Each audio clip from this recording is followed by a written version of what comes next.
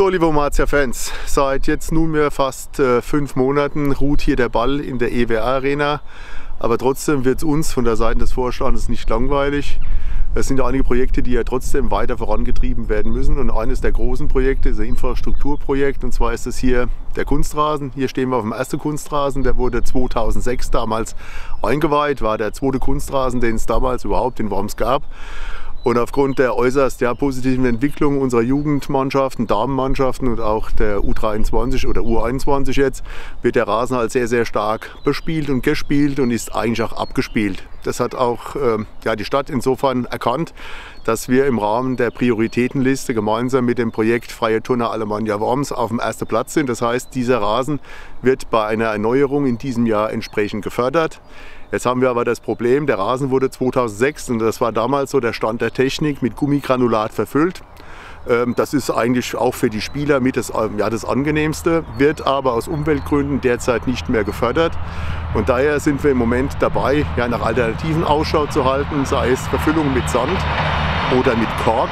Das wird sich aber auch erst im September entscheiden, auf, auf auf der Ebene der EU, welches äh, der entsprechenden Materialien gefördert wird. Es gibt jetzt wohl ein ganz neues Verfahren aus der Schweiz, der Andreas Hahn, unseren ja, Jugendleiter und im Hauptberuf auch Bauingenieur und Statiker ist dabei, das jetzt mal ausfindig zu machen. Es gibt in der Schweiz ein Verfahren, dass es einen Rasen gibt, der sogar ohne Füllmaterial quasi auskommt. Das wäre natürlich das Idealste, aber wir müssen jetzt mal alles durchspielen, weil wir werden gezwungen sein, sobald es hier wieder losgeht, hier den Rasen spätestens im Herbst oder Winter im nächsten Jahr dann zu erneuern. Ja, liebe Formationer, unser zweites großes Projekt ist auch ein Infrastrukturprojekt und zwar unser Vereinsheim. Wir haben in mehreren Beiträgen ja schon darüber berichtet, dass der Zustand des Daches katastrophal ist. Das wird quasi nur noch von Plan zusammengehalten und der letzte doch teilweise strenge Winter mit Schneefall haben dem, ja, dem Dach jetzt quasi den Rest gegeben. Äh, wir können ein bisschen Entwarnung geben. Wir dachten ja erst, dass wir den ersten Stock mit dem Dach komplett abreißen müssen. Das ist nicht so. Äh, das Dach ist jetzt doch, oder der erste Stock ist jetzt doch so stabil, dass er erhalten werden kann. Äh, wir werden also das jetzt umsetzen, was wir ursprünglich vorhatten. Das heißt, Dach abdecken, neu, äh, neue Lattung drauf und hier mit einer entsprechenden Folie dann zudecken, was die nächsten 20, 25, vielleicht auch 30 Jahre hält. Äh, hier haben wir immer noch das Problem, dass wir noch nicht die Eigentumsverhältnisse geklärt haben. Das Vereinsheim ist immer noch im Besitz der Stadt Worms Unsere Intention ist die, dass wir das Objekt, wenn wir entsprechend investieren, zumindest in Erbpacht übernehmen wollen. Hier gab es im November eine Begehung vom Gutachterausschuss. Leider liegt uns bis zum heutigen Tage aber noch kein Ergebnis vor. Wir haben dann aufgrund dessen in der letzten Woche auf Initiative unseres Vorsitzenden des Wirtschafts- und Verwaltungsrates eine Videokonferenz gehabt mit dem Oberbürgermeister Herrn Kessel und dem Herrn Kramer und haben das Thema nochmal besprochen und angesprochen. Und uns wurde auch zugesagt, dass hier in den nächsten Wochen uns hier eine entsprechende ja, Nachricht zugeht, dass wir den Wert bekommen des Gebäudes und dass wir hier dieses Grundstück und äh, auch das Gebäude entsprechend in Erbpacht dann übernehmen können. Und dann werden wir auch zügig daran gehen, diese Maßnahme umzusetzen, weil hier wirklich keine Zeit mehr zu verlieren ist. Ein letzter Punkt noch, weil ja für uns der wichtigste ist, wie geht es sportlich weiter? Äh, der Regionalverband Südwest hat entschieden, die Saison abzubrechen. Das ist auch in unserem Sinne gewesen. Hat jetzt Trier als Staffelsieger im Norden und uns im Süden äh, als potenzielle Aufsteiger in die Regionalliga gemeldet. Wir haben am letzten Donnerstag per Mail die entsprechenden Unterlagen bekommen, haben jetzt Zeit bis zum 17. Mai diese Unterlagen zu bearbeiten und ausgefüllt zurückzuschicken.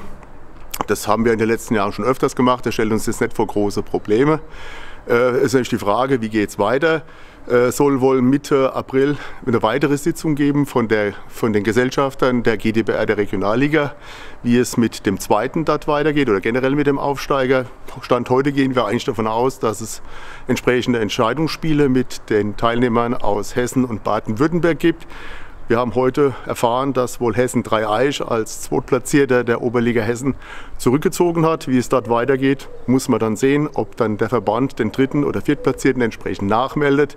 Das sind aber alles Dinge, die können wir als Formatia Worms nicht beeinflussen. Wir gehen Stand heute davon aus, dass es zu entsprechenden ja, Aufstiegsspielen kommt. Sollte das nicht der Fall sein, weil die Pandemielage das eventuell nicht zulässt, gehen wir davon aus, dass man die gleiche Lösung findet wie letztes Jahr, wie Kassel.